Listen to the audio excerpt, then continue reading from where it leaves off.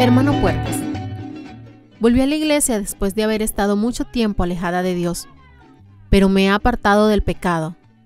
¿Tengo que confesar mis pecados a los pastores? Ya lo confesaste a Dios.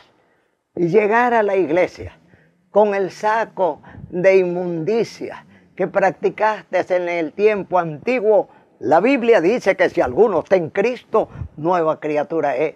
Pediste perdón a Dios, te reconciliaste con Dios, el Señor te ha recibido. Bienvenida a casa, bienvenida al hogar, en el nombre del Señor. Da frutos de arrepentimiento.